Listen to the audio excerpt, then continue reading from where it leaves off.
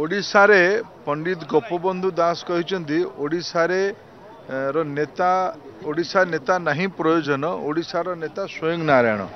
ଏଠି ମହାପ୍ରଭୁ ଜଗନ୍ନାଥ ହିଁ ଆମ ସମସ୍ତଙ୍କର ମାର୍ଗଦର୍ଶକ କ୍ଷମତାର ନିଶାରେ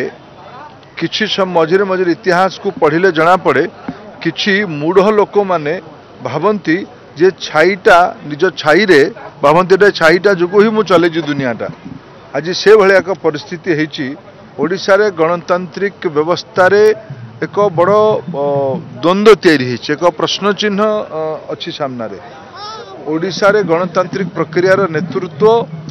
ଓଡ଼ିଆ ଲୋକମାନେ ହିଁ ନେବା ଦରକାର ସ୍ଥାନୀୟ ଲୋକମାନେ ହିଁ ନେବା ଦରକାର ଯାହାକୁ ପସନ୍ଦ କରିବେ ଯାହାକୁ ଲୋକ ପସନ୍ଦ କରିବେ ସେ ହିଁ ନେତା ହେବା ଦରକାର ମଝିରେ ମଝିରେ ଏଇଭଳିଆ ଦମ୍ଭ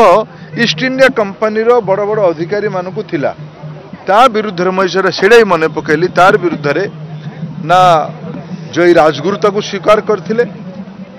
ନା ତାକୁ ବକ୍ସି ଜଗବନ୍ଧୁ ସ୍ୱୀକାର କରିଥିଲେ ନା ତାକୁ ବୀର ସୁରେନ୍ଦ୍ର ସାଏ ସ୍ୱୀକାର କରିଥିଲେ ନା ତାକୁ ମାଧବ ସିଂ ହାତୀ ସିଂ ସ୍ୱୀକାର କରିଥିଲେ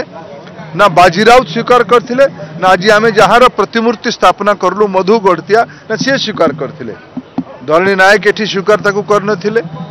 ᱥᱟᱭᱫ ᱞક્ષᱢᱚᱱ ᱱᱟᱭᱠ ᱛᱮᱠᱚ ᱥᱩ វ ᱠᱟᱨ ᱠᱟᱱ ᱛᱤᱞᱮ ᱥᱤᱨᱮᱥᱠᱚᱨ ᱵᱷᱟᱵᱤ ᱛᱤᱞᱮ ᱩᱪᱤᱛ ᱵᱷᱟᱵᱤ ᱛᱤᱞᱮ ᱢᱩᱱᱰᱚ ᱱᱚᱱᱩ ᱮᱠᱤ ᱞᱟᱲᱦᱟᱭ ᱠᱟᱨᱤᱣᱟ ᱯᱟᱭ